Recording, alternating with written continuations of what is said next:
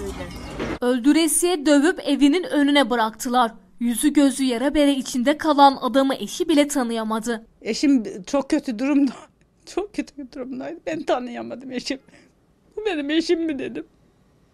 İnanamadım. Her tarafım mosmor tanınmayacak şekilde. Adana'nın Yüreğir ilçesinde yaşanan olayda iddia göre sabah saatlerinde çöp toplayan görevliler elektrik direğinin dibinde yüzü kanlar içinde gözleri morarmış ve ıslak bir şahıs gördü. Görevliler şahsın bırakıldığı yerin en yakınındaki eve haber verdi. Dışarı çıkan mahalleli dövülen şahsı fırında çalışan komşuları Cengiz Kılıç olduğunu fark etti. Olay yerine gelen ambulans Kılıcı Adana Şehir Hastanesi'ne kaldırdı. Cengiz Kılıç'ın sabaha kadar ıslatılıp ıslatılıp dövüldüğü, kafatasında ve boynunda kırıklar olduğu tespit edildi. Yoğun bakımda tedavisi süren adam hayatta kalma mücadelesi veriyor. Polis de olayın şüphelisi olduğu öne sürülen fırın sahibini arıyor. Çektin mi?